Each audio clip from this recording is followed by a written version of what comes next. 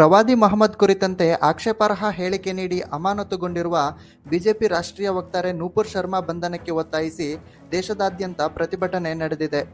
ಶುಕ್ರವಾರದ ನಮಾಜ್ ಬಳಿಕ ಸಾವಿರಾರು ಮುಸ್ಲಿಮರು ಘೋಷಣೆಗಳನ್ನು ಕೂಗಿ ಭಿತ್ತಿಪತ್ರ ಪ್ರದರ್ಶಿಸಿದ್ದಾರೆ. ಜಾಗತಿಕವಾಗಿ ಇಂಧನ, ಆಹಾರ ಮತ್ತು ರಸಗೊಬ್ಬರ ಸಮಸ್ಯೆಗೆ ಉಕ್ರೇನ್ ಯುದ್ಧ ಕಾರಣವಾಗಿದೆ. ಇದರಿಂದ ಹಣದುಬ್ಬರದ ಜೊತೆಗೆ ಆಹಾರದ ಕೊರತೆಯೂ ಜನರನ್ನು ಕಾಡಬಹುದು ಎಂದು ವಿದೇಶಾಂಗ ವ್ಯವಹಾರಗಳ ಸಚಿವ ಎಸ್ ಜೈಶಂಕರ್ ಹೇಳಿದ್ದಾರೆ. ಗಡಿ ಪ್ರದೇಶಗಳಲ್ಲಿ ಚೀನಾ ಮೂಲಸೌಕರ್ಯ ಅಭಿವೃದ್ಧಿಪಡಿಸುತ್ತಿರುವುದನ್ನು ನಿರ್ಲಕ್ಷಿಸುವ ಮೂಲಕ ಕೇಂದ್ರ ಸರ್ಕಾರವು ದೇಶದ ಜನತೆಗೆ ದ್ರೋಹ ಬಗೆಯುತ್ತಿದೆ ಎಂದು ಕಾಂಗ್ರೆಸ್ ನಾಯಕ ರಾಹುಲ್ ಗಾಂಧಿ ಟೀಕಿಸಿದ್ದಾರೆ. ಲಡಾಖ್ ಬಳಿ ಚೀನಾ ಮೂಲಸೌಕರ್ಯ ಅಭಿವೃದ್ಧಿ ಮಾಡುತ್ತಿರುವುದು ಎಚ್ಚರಿಕೆ ಗಂಟೆ ಎಂದು ಅಮೆರಿಕದ ಜನರಲ್ ಚಾರ್ಲ್ಸ್ ಎ. ಫ್ಲಿನ್ ಹೇಳಿಕೆಗೆ ಸಂಬಂಧಿಸಿದ ವರದಿಯನ್ನು ಉಲ್ಲೇಖಿಸಿ ಅವರು ಟ್ವೀಟ್ ಮಾಡಿದ್ದಾರೆ. ಈ ವರ್ಷ ಚಾರ್ಧಾಮ್ ಯಾತ್ರೆಗೆ ದಾಖಲೆ ಸಂಖ್ಯೆಯಲ್ಲಿ ಭಕ್ತರು ಭೇಟಿ ನೀಡಿದ್ದಾರೆ.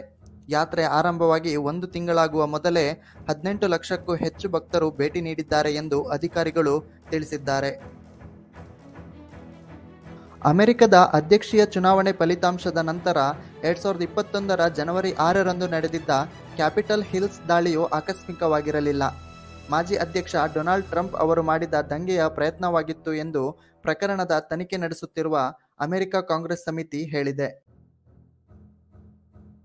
ದೇಶದಾದ್ಯಂತ ಕೋವಿಡ್ ಹತ್ತೊಂಬತ್ತು ಪ್ರಕರಣಗಳ ಸಂಖ್ಯೆಯಲ್ಲಿ ಶುಕ್ರವಾರವೂ ಹೆಚ್ಚಳ ಕಂಡುಬಂದಿದೆ. ಇಪ್ಪತ್ನಾಲ್ಕು ಗಂಟೆಗಳಲ್ಲಿ ಏಳು ಸಾವಿರದ ಐನೂರ ಎಂಬತ್ನಾಲ್ಕು ಪ್ರಕರಣಗಳು ದೃಢಪಟ್ಟಿದ್ದು, ಸಕ್ರಿಯ ಪ್ರಕರಣಗಳ ಸಂಖ್ಯೆ ಮೂವತ್ತಾರು ಸಾವಿರದ ಇನ್ನೂರ ಅರವತ್ತೇಳಕ್ಕೆ ಏರಿಕೆಯಾಗಿವೆ ಎಂದು ಕೇಂದ್ರ ಆರೋಗ್ಯ ಸಚಿವಾಲಯ ತಿಳಿಸಿದೆ. ವಿಧಾನಸಭೆ ಪ್ರತಿಪಕ್ಷ ನಾಯಕ ಸಿದ್ದರಾಮಯ್ಯ ಅವರ ಆತ್ಮಸಾಕ್ಷಿ ಹೇಳಿಕೆಗಳಿಗೆ ತಿರುಗೇಟು ನೀಡಿರುವ ಬಿಜೆಪಿ, ಕೆಪಿಸಿಸಿಯ ಅಂದಿನ ಅಧ್ಯಕ್ಷ ಡಾಕ್ಟರ್ ಜಿ ಪರಮೇಶ್ವರ್ ಅವರು ಸಿದ್ದರಾಮಯ್ಯ ಅವರನ್ನು ಸಹೋದರನಂತೆ ನೋಡಿಕೊಂಡರು, ಆದರೆ ಸಿದ್ದರಾಮಯ್ಯ ದಲಿತ ನಾಯಕನನ್ನೇ ವಂಚನೆಯಿಂದ ಸೋಲಿಸಿದರು. ದಲಿತ ನಾಯಕನ ಬೆನ್ನಿಗೆ ಚೂರಿ ಹಾಕಿದ್ದು ಆತ್ಮಸಾಕ್ಷಿಯೇ ಎಂದು ಪ್ರಶ್ನಿಸಿದೆ. ಕೋಲ್ಕತ್ತಾದಲ್ಲಿರುವ ಬಾಂಗ್ಲಾದೇಶ ಡೆಪ್ಯೂಟಿ ಹೈಕಮಿಷನ್ ಕಚೇರಿಯ ಹೊರಗೆ ಗುಂಡಿನ ದಾಳಿ ನಡೆದಿದ್ದು ಮಹಿಳೆಯೊಬ್ಬರು ಮೃತಪಟ್ಟಿದ್ದಾರೆ. ಗುಂಡು ಹಾರಿಸಿಕೊಂಡು ದಾಳಿಕೋರನು ಆತ್ಮಹತ್ಯೆ ಮಾಡಿಕೊಂಡಿದ್ದಾನೆ. ಶುಕ್ರವಾರ ಮಧ್ಯಾಹ್ನ ಘಟನೆ ನಡೆದಿದ್ದು ದಾಳಿಕೋರ ಪೊಲೀಸ್ ಸಿಬ್ಬಂದಿ ಎಂದು ತಿಳಿದುಬಂದಿದೆ.